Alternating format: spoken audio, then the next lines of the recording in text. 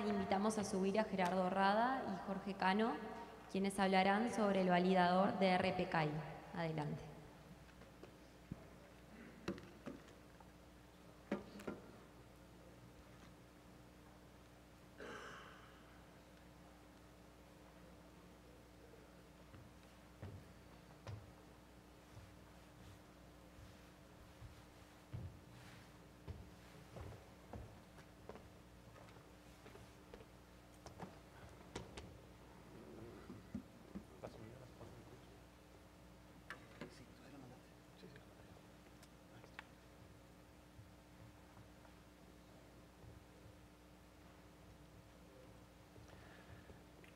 Hola, ¿qué tal? Muy buenos días. Mi nombre es Jorge Cano, pertenezco a NI México y voy a empezar esta pequeña plática sobre un proyecto que estamos iniciando.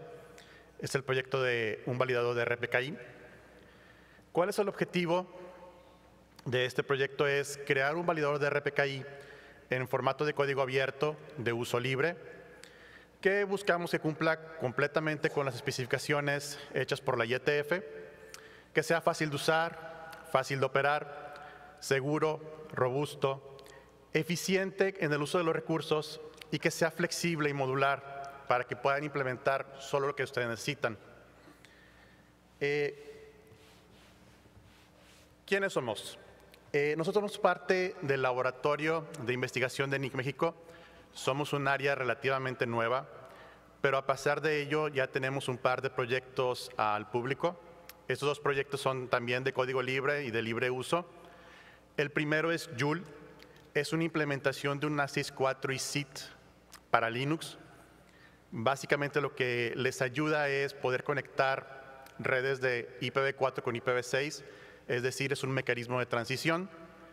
Y Red Dog, que es un framework o un marco de trabajo con lo que ustedes pueden crear servidores de Red App. Eh, Pueden consultar ambas páginas para ver un poquito más de información.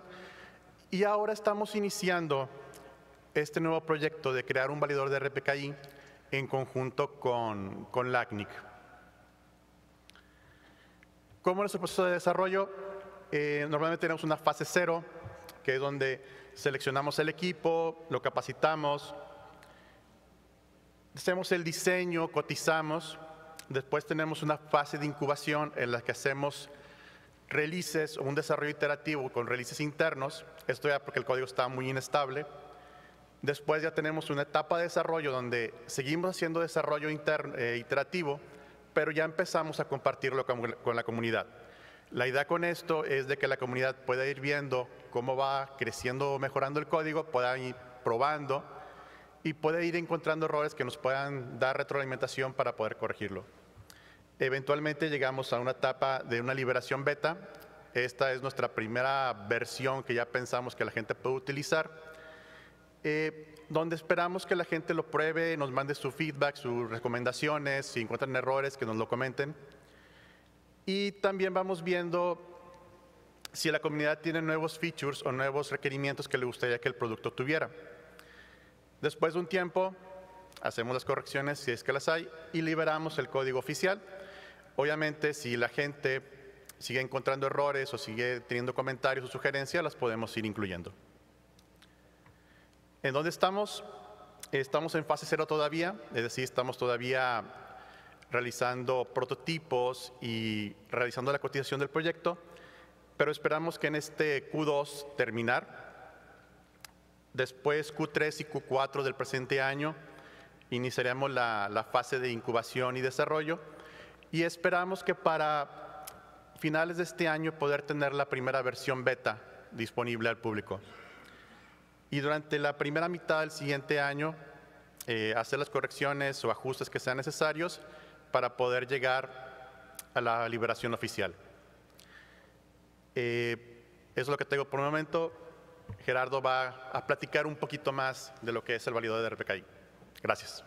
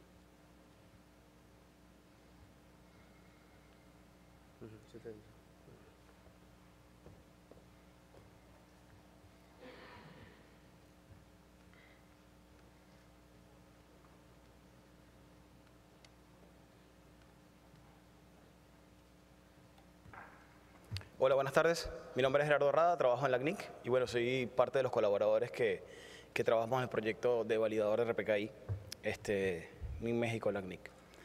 Este, vamos a hablar un poquito de lo que es RPKI, validación de origen, de forma muy, muy general.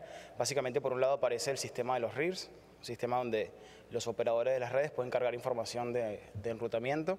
Básicamente ahí se carga, eh, los operadores declaran cómo se usan las redes, ¿no? cuál es el sistema autónomo de origen, este, autorizado a originar las rutas. ¿sí? Por otro lado está eh, los operadores que consumen la información de RPKI, ¿no? operadores que, basada en información publicadas por los demás, toman este, decisiones de enrutamiento. ¿sí? Y el enlace entre estas dos plataformas, entre la generación de, información este, encriptada, con características de integridad, etcétera, y el uso de esa información para este, establecer controles y, decisiones de enrutamiento, este, se hace a través de lo que es el validador de RPKI. ¿sí? Este, el validador es uno de los componentes más complejos ya que tiene que conocer cómo funciona la parte de, este, de firma digital, la parte de criptografía, el estándar, de cómo se generan los objetos para poder hacer los chequeos que, que corresponde, pero además tiene que saber cómo comunicarse con la parte de, del router. ¿sí? La comunicación con el sistema de los RIR se hace a través de Resync y obviamente validación criptográfica y la comunicación entre el validador y este, los routers se hace, a través del protocolo RTR, Router Protocol. El validador comúnmente se conoce en Latinoamérica, lo conocemos como validador de RPKI, es ese software que, instalamos que, que, hace esa validación. También se le conoce como caché local o se le conoce en muchos de los eh, escritos del IETF como Reliant Party. Cada vez que hacen referencia a ese nombre, muchas veces se refieren al, al software de validación. Y sobre bueno, ese componente que está en el medio, sobre ese componente que vamos a, a trabajar. Un poco de, información sobre el uso de, capaz que estas tres capas, ¿no? la capa de publicación de información, la capa de uso de la información y la capa de validación. Este, uno de nuestros compañeros en LACNIC hizo un reporte este lunes sobre uso de, eh, uso de, la plataforma RPKI y bueno, en el caso de la región del, del ACNIC, este, el 43% de las IPs de nuestra región que están siendo anunciadas están cubiertas por ROAS, están siendo vistas como válidas en organizaciones donde hagan validación de origen. ¿sí? Eh, eso en el caso de IPv4. En el caso de IPv6 es, era cerca del 41%. Entonces, bueno, podemos afirmar que por arriba del 40% de los recursos de nuestra región que están siendo utilizados están siendo vistos válidos en, en, en la plataforma RPKI. ¿sí? Hay una referencia ahí en el documento que hizo Nicolás. Eh, en la otra contraparte, ¿no? en la parte de uso de la información de RPKI, en Latinoamérica también hemos sido pioneros en el despliegue o en el uso de, de, esta, de esta tecnología. Arrancando por allá en 2013 con el proyecto que, que lideró Fabián en AEPROVI, y bueno, donde ellos implementaron validación de origen, básicamente comenzaron a eh, consumir la información de RPKI y empezar en, luego de un tiempo a descartar rutas, a tomar decisiones de enrutamiento basado en la información de RPKI. Hace dos, tres años en el I Costa Rica se hizo una, una, implementación similar, beneficiando más de 28 organizaciones. Y el año pasado en Renata, este, Erika Vega, de la Red Académica Avanzada de Colombia, eh, lideró un proyecto que era un poco más ambicioso que los anteriores, básicamente hacían validación de origen en distintos puntos y bueno, beneficiando más de 120 organizaciones en el caso de Renata. En total, entonces, bueno, en Latinoamérica este, también somos pioneros en el uso eh, o lideramos el despliegue del uso de validación de origen en, a nivel de, de, sistemas de producción. ¿sí? En el componente del medio, el componente que enlaza nuestras dos partes, la generación de información con el uso de la información, tenemos tres software, al menos que, que yo he visto funcionando y que en su mayoría de los casos son los que se utilizan o se han utilizado, es el software de RIPE, el validador de RIPE, el, hecho por nuestros colegas de, del RIR de Europa. Hay un par de proyectos más que son de open source también, que están en GitHub, que son RSync y el validador hecho por la gente de Vivian. Y bueno, básicamente esos son los tres componentes de software que disponemos para enlazar nuestra generación de información con la, este, el uso de esa información. ¿Qué es lo que hacen estos, estos componentes, este, estos validadores? ¿no? Ahí yo traté de resumir en, en algunas slides. Las características más importantes que tiene que tener un validador. Básicamente, lo primero que tiene que hacer es verificar que los objetos que se publican cumplan con el formato que se necesita. ¿no? Tienen que ser certificados de X509, tienen que ser CRL las cosas que se publican, tienen que ser este, CMS los objetos que se firman, etc. ¿Sí? Básicamente tienen que cumplir con el RFC 5280 y 5111. Además de esos RFC, que son el estándar de estos tipos de objetos, en RPKI se especificaron características específicas que tienen que cumplir los certificados las CRLs y los objetos para que funcionen en RPKI. Entonces, bueno, los certificados, arriba del estándar X509 le hicieron unas extensiones que permiten, bueno, incluir este, recursos de numeración, eh, IPv4, IPv6 y ASNs, permiten este, definir qué extensiones del certificado son críticas, cuáles deben estar presentes, cuáles no deben estar presentes, cuáles son opcionales, etc. Entonces, bueno, tiene que cumplir con el estándar también 6487. La fecha de validez de los objetos, obviamente verificar que los objetos estén vigentes. Este, la verificación de la firma, la verificación que el certificado que se está eh, validando no esté revocado, no esté en la CRL.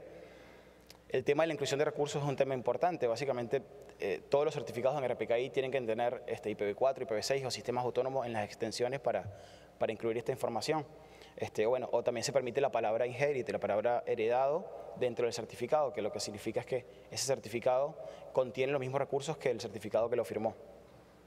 Entonces, bueno, la presencia de esa, de esa extensión es obligatoria y es una de las cosas que se tiene que chequear.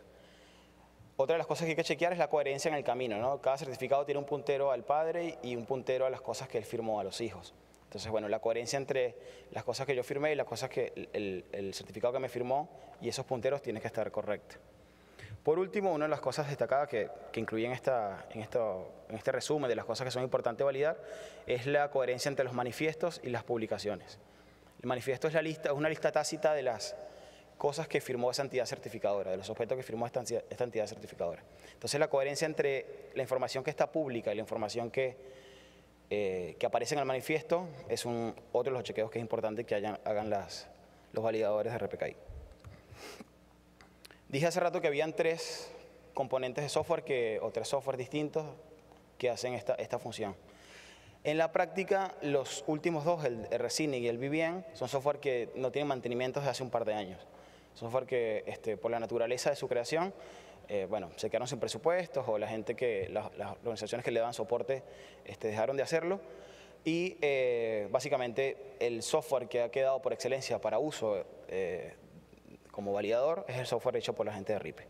Entonces, en definitiva, siempre que hablamos de un validador, a pesar de que yo listé tres tecnologías, tecnologías acá, la gente asocia al validador con el software este que hace la gente de RIPE. Entonces, en definitiva, tenemos, de hecho, las, tres organizaciones que hacen validación de origen en Latinoamérica usan este software como validador. ¿sí? Y básicamente no conozco, este, hasta donde llegué a averiguar, no conozco ninguna implementación en producción que utilice alguno de los otros dos. Entonces, bueno, en general, validador es el validador de RIPE. ¿Cuál es la clave del éxito, a mi juicio, de este, de este validador? Bueno, una de las cosas que, tiene es el, hecho de que es fácil de instalar. ¿no? Este, básicamente uno se descarga un zip, corre un par de comandos y en unos segundos ya tiene este, un validador instalado y configurado, consumiendo información de, los repositorios y brindando información a un router que se pueda conectar. La estabilidad del sistema es otra de las, de las cosas importantes que nos ha dado este software. ¿no? Un software que tiene más de 10 años de, de construido, bueno, desde que se inició el proyecto. Y bueno, y capaz que los bugs que por lo menos me he enterado yo que, han, reportado han sido capaz que menos que cinco. ¿no? Y la respuesta que ha dado la gente de RIPE este, ha sido realmente eficiente y bueno, siempre atentos a corregir cosas que vayan apareciendo. Otra de las cosas que favorece, desde el punto de vista, el, éxito de esta plataforma es la estructura de archivos que tiene. ¿no? Tiene una carpeta temp para temporales, data para este, datos base de datos locales que utilice la plataforma esta, logs para logs, conf para configuración, lib para librerías. Entonces, uno simplemente viendo la estructura de carpeta sabe dónde tocar y qué puede tocar y qué no, y qué puede pasar si no altera alguna cosa. ¿Sí? La parte de la interfaz gráfica amigable también, para mi juicio, ha favorecido el despliegue y el uso de esta plataforma. Básicamente tiene una interfaz que se ha mantenido desde el principio, por lo clara que es, básicamente no tiene este, sistemas de ayuda o manuales de uso, porque en definitiva es bastante amigable cómo, cómo usarla y luego de, hacer unos 5 o 10 clics ya entiende más o menos dónde está cada cosa. Entonces, en definitiva, este, la forma como presentar los datos es una, una buena forma además. Además de, bueno, de la parte de, valiosa, ¿no? la parte del core del sistema, que es la parte de validar criptográficamente, que funciona muy bien, y brindar esa información al router, que también funciona muy bien, el software brinda algunas otras herramientas que a mi juicio han, este, han ayudado no solamente al, al, uso de esa aplicación, sino al entendimiento de la plataforma RPKI en sí misma. ¿Sí? Tienen web service para acceder a la información validada, tienen la posibilidad de forzar validaciones específicas para alguna entidad certificadora, tienen la posibilidad de incluir ROAs locales, o sea, una especie de whitelist donde tú incluyes este, eh, para tu instalación incluyes algunos robas que tú creas que son necesarios tenerlos por, algún motivo. Tienes la posibilidad de ignorar prefijos, ¿no? si tú tienes, sabes que hay un error en la configuración, bueno, puedes agregar este, que algún roba que, te llegó no, no, lo considere. Este, tiene un aviso por nuevas versiones, o sea, a medida que van, ellos van liberando versiones, el sistema te avisa cuando, cuando aparece alguna versión nueva y tiene la posibilidad de ver este, cuáles routers están conectados a la plataforma a, la instalación que tienes en ese momento. Bueno, ya que es tan buena, ahí aparece la pregunta, ¿no? ¿Por qué hacer otro validador si tenemos una cosa que nos resuelve todo y todo el mundo lo usa y funciona bien? Y en definitiva ahí encontré una imagen que capaz que representa el por qué es importante desarrollar otra herramienta que complemente este, esta infraestructura, ¿no? Tenemos trabajo por más de 10 años en el IETF, estandarización, sistemas robustos hechos por los RIRS que funcionan y que cumplen con el estándar operadores que crean información en los sistemas y que este, confían en esta plataforma, más del 43% de hecho en Latinoamérica. Tenemos organizaciones que toman la información publicada en RPKI, tenemos un software hecho por un grupo de programadores muy buenos, pero en definitiva es un grupo de programadores eh, con sede en Ámsterdam, que son cinco, un equipo de 5 o 10 programadores. Y bueno, y tenemos un eslabón este, que a mis juicios puede ser el más débil en toda esta cadena, en toda esta infraestructura de, de RPKI.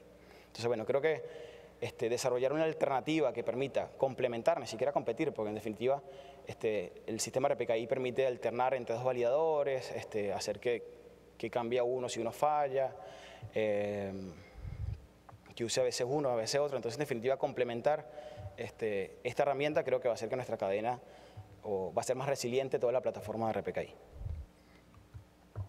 ¿Cómo hacerlo mejor? Acá trata de listar algunas, algunas cosas que, que con Jorge conversamos que puedan hacer que, que, este, que esta implementación de, del validador sea, este, pueda ser utilizada y que además de cumplir con las cosas que ya este, hicieron la gente de RIPE, que dejaron la vara bien alta, bueno, otras cosas que podemos llegar a hacer.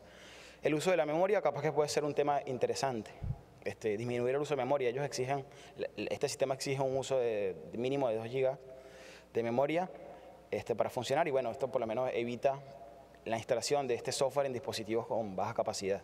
Entonces, bueno, en algún momento solo hemos llegado a pensar en hacer algún hardware validador, ¿no? algún componente de hardware que lo instales, que lo enchufes y, ya te, tengas un validador configurado. Entonces, bueno, para hacer esto, capaz que a bajos costos, necesitamos un software que no necesite tantos recursos. Ghostbuster Record, ¿no? Hay un componente en toda la infraestructura RPKI que es, el registro de, básicamente son contactos firmados, ¿no? Como si fuera la información de Wi firmada.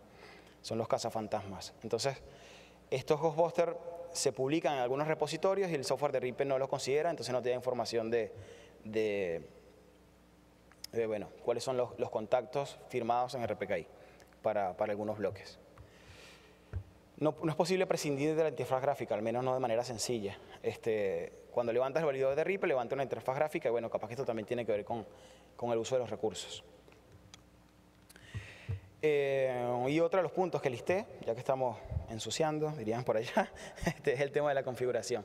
Este, la configuración de la, de la, plataforma de RIPE se hace a través de archivo de configuración, capaz que una mejora a la parte gráfica sería incluir alguna, algún lugar donde se pueda alterar la configuración del sistema a través de, un sitio web. Son mejoras, capaz que algunos este, temas que podemos hacer mejor para, para, para el uso de, de esta plataforma.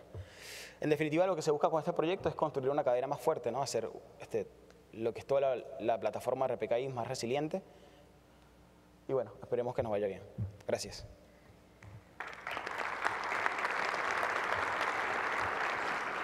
Muchísimas gracias Gerardo y, Jorge. Ahora los invitamos a pasar al coffee break Y les queremos recordar para que ustedes se acerquen al stand que van a estar este, de nuestros compañeros de la CNIC para todos aquellos que quieran solicitar recursos. Bueno, también a lo largo del Coffee Break los invitamos a la sala 5 para dos presentaciones, una de Netflix y otra de IPv6 Tecno. Y le pedimos por favor que aquellos que hayan perdido llaves o algún objeto, por favor se dirijan a- al registro que ahí hay una sala de objetos perdidos. Muchas gracias, los esperamos nuevamente 11 y media.